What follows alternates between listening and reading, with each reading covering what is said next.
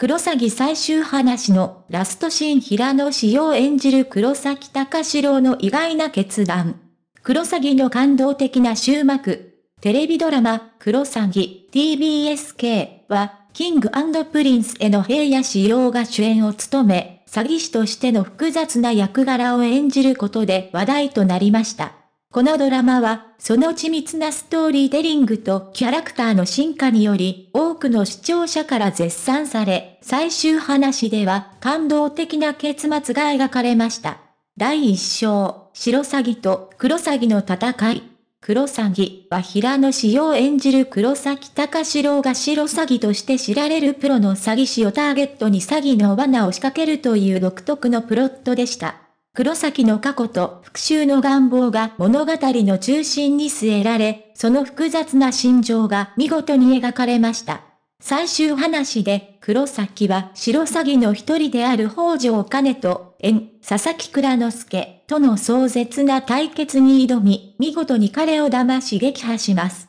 この瞬間、物語はクライマックスに達し、視聴者は息を飲むほどの緊張感と興奮に包まれました。第2章、愛の手紙、黒崎の本音。しかし、このドラマは詐欺と復讐だけでなく、愛と友情も重要な要素として扱われました。特に、黒崎がヒロインの吉川つらら、縁、黒島決済に宛てた手紙が印象的でした。手紙には以下の言葉が綴られています。吉川さん前に俺に言ったよ、ね。いつか俺が足を洗って俺の全部受け止めてくれる人に出会ったら新しい家族と生きていけるかもしれないって。俺は今でもそんなことはありえないと思っている。でも、もしもそんな未来があるとしたら、俺が一緒に生きたいと願うのは吉川つららだと思う。この手紙からは、黒崎がつららを信頼し、受け入れ、彼女に対する深い愛情を感じることができました。その瞬間、ドラマは詐欺の舞台裏だけでなく、キャラクターの心情にも焦点を当てることに成功しました。第3章、6年後の再会、ラストシーンの感動。ラストシーンでは物語が6年後に移り、黒崎は海外での生活から帰国し、つららは検事としてのキャリアを積んでいます。二人は横断歩道ですれ違いますが、感動的な瞬間には至りません。互いに気づきながらも、振り返るタイミングがずれ、会話も交わしません。この瞬間、視聴者は驚きと簡単の念を抱きました。手紙で一緒に行きたいと願う、とまで書いていた黒崎が予想外の展開で再会しないまま物語が終わったことは、ドラマの制作陣の大胆な演出によるものでしょう。再開イコール感動という王道から逸脱し、視聴者に予測不可能な感情を呼び起こす方は、本作の質の高さを証明しています。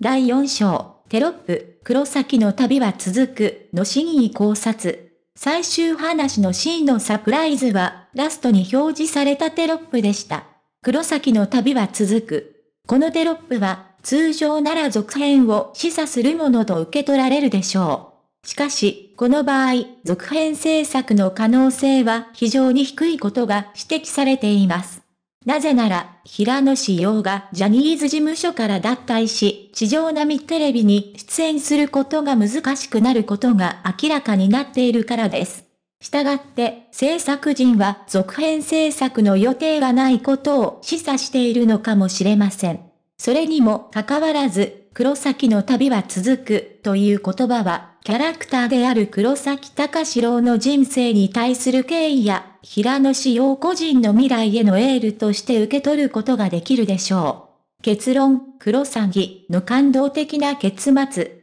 黒崎はテレビドラマとしての緻密なストーリーテリングとキャラクターの心情描写が絶妙に組み合わさった作品でした。最終話での感動的な結末や意味深なテロップにより、視聴者は物語の魅力に引き込まれました。このドラマは、詐欺と復讐の物語だけでなく、愛と友情についても深く考えさせられる作品として、多くのファンに感銘を与えました。平野志陽という俳優の新たな挑戦としても、注目すべき成功と言えるでしょう。